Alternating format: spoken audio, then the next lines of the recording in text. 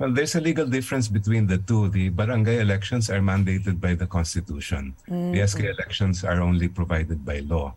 So, with respect to the power of Congress to amend uh, the law, uh, mukhang less less ang uh, challenge sa SK. However, I am concerned that um, we are the, the youth especially are are not uh, getting their voices heard because of the postponement, the continued postponements of the SK elections. Sana po ay bigyan ng pagkakataon ang kabataan natin na uh, tumakbo at maging bahagi ng ating demokrasya.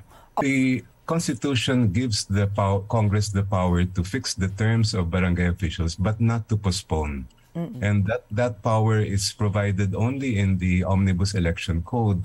But uh, the Omnibus Election Code says that you can only postpone elections for acts of violence, terrorism, and similar causes, and only in in particular places where that is happening.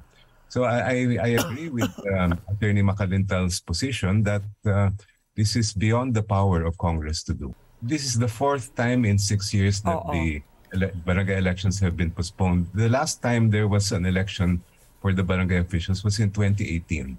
But Oo. since 2016, uh, apat na beses na po yan.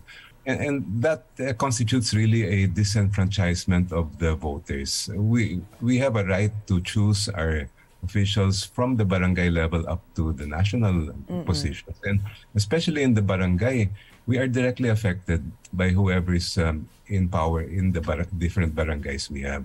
Oo. And I, I do think that um, that is the cornerstone of our democracy to choose our leaders. I think it does contribute to patronage politics because the officials will feel that they owe their positions not to the voters, but rather to those who decided to continue giving it to them. Especially if the um, if the push came from higher officials in the executive department and then was followed by those in Congress, then uh, sa kanila pupunta yung utang na loob Oo. at hindi ang bayan. Y- you know, it could be viewed that way. We, it's it's difficult to find out what's in the mind of those who decided to do this, but uh, it's it's very easily interpreted in that manner. The the whole purpose of having an SK is to give a voice to our youth, and if they are already over age, what's the point in in making them continue to sit? I think that uh, they the youth deserve to have a, a hand, a participatory hand in our elections and in choosing our, our their leaders. Every barangay is supposed to have an SK that is supposed to represent the interests of the youth. Oo. But when you have overaged uh, members who are there, uh, it's a big question whether they can still or should still be sitting. Definitely, it does not contribute to our democracy, and and our democracy has been under attack in so many different ways. This is just one of them, and it's really concerning because.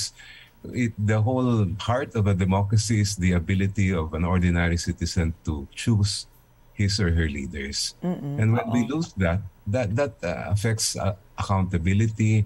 That could even affect the issues of corruption.